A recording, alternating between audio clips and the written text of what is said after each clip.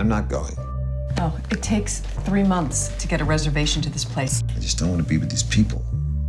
It sounds super exclusive and sexy, like going to France. During the German occupation, maybe. Hold on, Congressman. What is going on? It's a family matter. It's private. You are running for governor. Nothing is private. This is private. private and it will stay private. After tonight, it'll all be over. Mr. and Mrs. Lohman have not arrived yet. oh, yes, we have. You want to see our driver's license? I'm his brother. Of course. Right this way. I'm the only person in my family that cares about real people.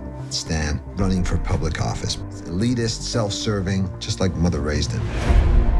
You look good, Paul. Not as good as my brother, but then I don't spend quite as much time in makeup. Hello? Dad, you on my phone? Yeah, I must have thought it was mine. This is long overdue. We're going to talk tonight. I'm going to put it all on the table. Toast? To the children. To health.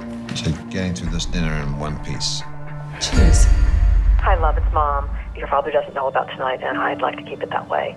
Nobody will ever find out if we just keep cool. Dad? Are you just on my phone? Who are you talking to?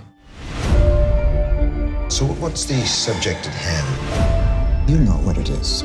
It's about the boys. How much do you know? How much do you know? He's gonna turn us in.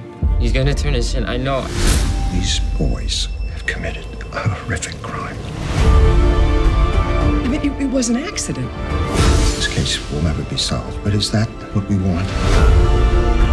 These are good boys. What's done is done. I'm suspending my campaign.